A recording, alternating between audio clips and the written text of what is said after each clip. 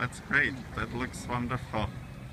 So you ready for the beach now? Oh, I'm ready to go. Okay. So Chanda, now that you're at the beach, I wonder what one should wear at the beach, you know? Like they keep talking about skin cancer or things, I don't know, getting sunburn. What should you wear?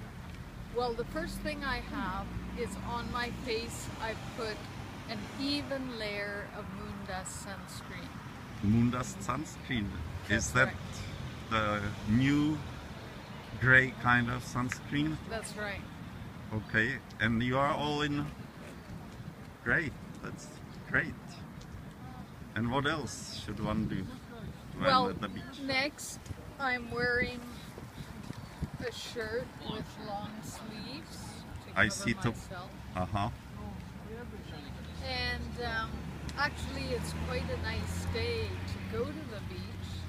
Yeah, there's some blue sky too, and look at the palm trees. But okay, continue. Well, it's a little hazy, so that means the UVA, B, and C is not going to be as strong as if it was very sunny. It's less dangerous than when it's a very strong sun. So I'm wearing long sleeves to help protect against the sun, and that would be especially important on a very sunny day. And I'm wearing a long skirt to cover my legs oh, that that looks actually quite good. so that I don't um, have any sun exposure to minimize the exposure to my legs.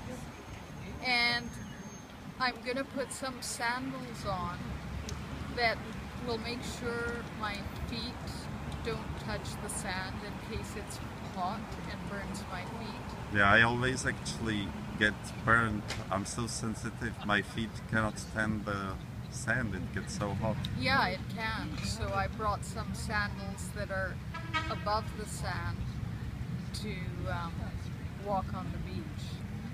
Okay, let's look at the beach. Yeah. I put my Sandals sandals, on. on. Okay. That looks good. Yes. Matches everything. Okay.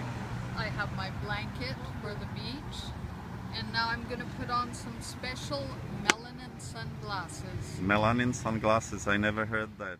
They're sunglasses coated with melanin, which is the same stuff that we have in the sunscreen that I put on, the moon dust.